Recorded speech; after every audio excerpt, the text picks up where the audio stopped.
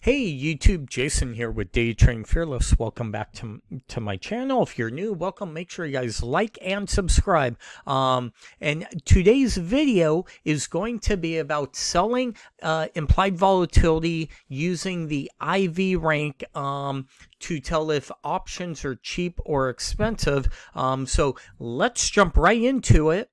But first, I want to talk to you guys about my Patreon portfolio page where I trade uh, stock dividends and options and have stock market educational videos. So make sure you check it out at patreon.com slash day trading fearless. Okay, so we're back and let's uh take a look at what we're going to be talking about, right? Today we're going to be talking about what is IV rank, okay? Uh what what this is is it's this lower study and what I'll do is I'll leave a link down below uh, of this chart so you can have the IV rank, okay, um, on any of your charts. Now, you'll want this only on the daily chart, just so you know, and there has to be at least a year's worth. If you go to Zoom, okay, with Zoom, uh, you could see here on ZM, it really didn't start to go until uh, May or whatever for some reason. So sometimes you'll see little things like that. But if you go to like PLTR, uh, Palantir, right? You, there's not enough for it to show, so it's not going to show up. So you need at least one year's worth of uh, data, okay, that it's actually been on the markets to be able to get this. And what this is, is the IV rank in the simplest terms is essentially showing you that it's where it's been ranking from 0 to 100 over the last 365 days and where implied volatility is, right? So right now, implied volatility, and usually it's showing you the front month contract, okay, um, of 32.2%. Okay. Well, we don't know if that's cheap or expensive for a stock, right? Because you could look at something like Zoom. If we go back to Zoom, Okay, they have a 59% implied volatility, but the rank's at 29% at the lower end, right? Uh, you could go to something like Tesla, okay, where you have a 67% implied volatility, right? But look at the IV rank, it's only 13. Well, if we go to T, right, we're at 32. So what it is, is it's it's ranking where implied volatility is relative to itself um, on the front month contract, right? So we could see we're at about the 20% level, and this is what it's showing you. And let's kind of make this a little bigger, right? So here would be zero down here, and here would be 100 over the last 365 days. okay, now what happened? The market started to fall in March and April and May, right? And IV rank was at the highest levels. Well, implied volatility probably instead of it being around 30 was up around 60 or 70 relative to itself, which means in the simplest terms, with the IV rank, how expensive or cheap are the options? Well, guess what?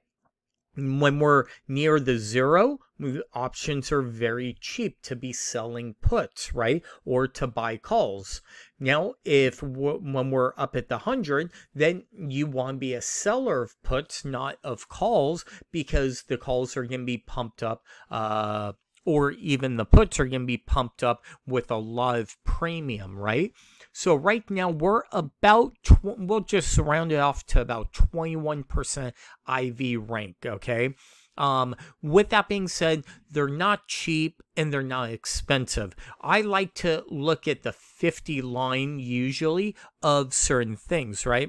Going, hey, these are really cheap uh, to maybe uh, to sell calls or puts. Maybe I don't want to sell them, but um, I did do some options this past week in my Patreon portfolio where I sold, or a couple weeks ago, sorry about that, um, where I sold uh, puts okay on uh, AT&T because we were having the pullback. And I'm watching this maybe 27 28 level to look to sell puts um, and the options the puts that I sold really weren't that expensive okay relative to itself but I kind of like the pullback and I can't sit there and just wait for them to get all the way up to 50. As you could see over the last year, we only had a couple opportunities, right? One, two, three, four, five, six, seven, eight, and then everything else has been really cheap okay? But sometimes we need to figure out a trade and this is more of selling premium to collect money uh, kind of like playing a dividend trade of but selling premium where we wouldn't mind buying. Now the problem is is we only collected like 18 cents on this trade i believe it was. Um but if this iv rank was maybe up around the 50% Okay, instead of selling for the same amount of time and collecting 18 cents, we might be able to sell this put with the same amount of time for, we'll say, 65 cents, right? Where everything would be no, the same.